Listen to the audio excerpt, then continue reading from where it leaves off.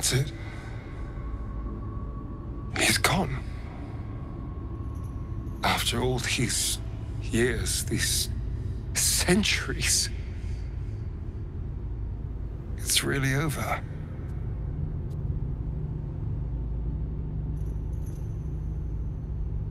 I'm not sure. I feel a little uh, numb. What I've lost, what I've gained. It's all so much.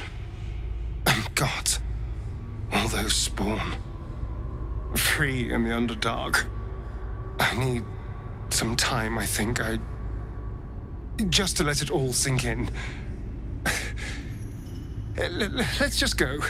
This place reeks of death, and I want to feel alive again.